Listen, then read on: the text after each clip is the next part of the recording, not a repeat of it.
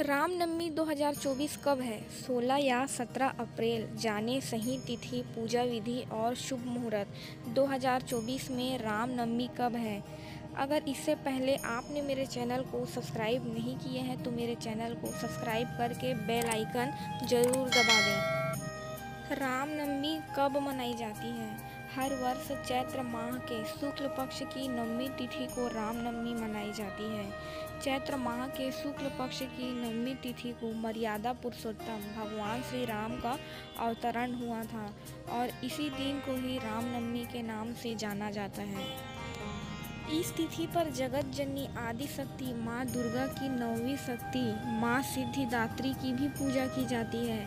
मर्यादा पुरुषोत्तम भगवान श्री राम का जन्म मध्यकाल में हुआ था। साल 2024 में रामनवमी कब है? रामनवमी तिथि पर सुबह ग्यारह बजकर तीन मिनट से लेकर दोपहर एक बजकर अड़तीस मिनट तक पूजा का शुभ मुहूर्त है। धार्मिक मान्यता है कि भगवान श्री राम की पूजा करने से व्यक्ति विशेष के जीवन में व्याप्त दुख और संकट हमेशा के लिए दूर हो जाते हैं। साथ ही प्रभु श्री राम का आशीर्वाद प्राप्त होता है। साल 2024 में रामनवमी चैत्र नवरात्रि के नौवें दिन यानी कि 17 अप्रैल को मनाई जाएगी। रामनवमी का शुभ मुहूर्त जान लेते हैं। चैत्र माह के शुक्ल पक्ष की नवमी तिथि 16 अप्रैल को दोपहर एक बजकर तेईस मिनट पर शुरू होगी और यह अगले दिन यानी कि 17 अप्रैल को दोपहर तीन बजकर चौदह मिनट पर समाप्त होगा। परंतु हमारे सनातन धर्म में उदया तिथि को ही मान्य होता है, इसीलिए रामनवमी 17 अप्रैल को ही मनाई जाएगी।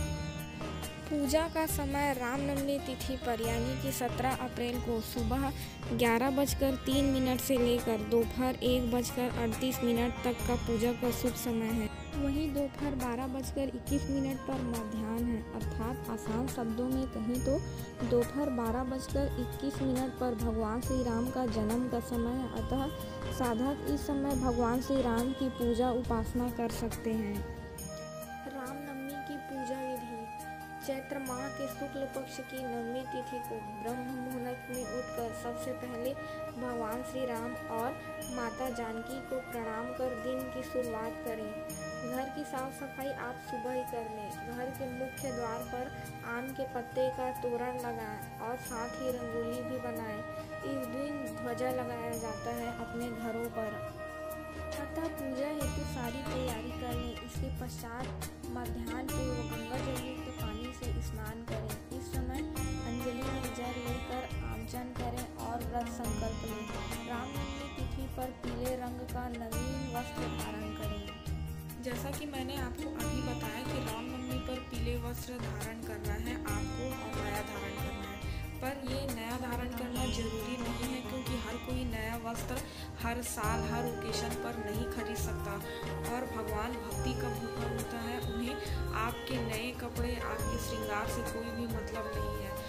ईश्वर सिर पर हमारा मन दिखता है तो नए कपड़े धारण करना बिल्कुल भी ज़रूरी नहीं है। अगर आपके पास क्षमता है या आप ले सकते हैं तो नया वस्त्र ले लें, बाकी आप पुराने से काम चला सकते हैं। इसमें कोई भी नया वस्त्र धारण करना ये ज़रूरी नहीं है। आप बस उस दिन भगवान श्री राम की अच्छे से पूजा करें और इस साल हमारा वर्षों का तपस्या पूरा हुआ है। मतलब भगवान श्री राम का मंदिर अयोध्या में बन करके तैयार हुआ है 22 जनवरी को।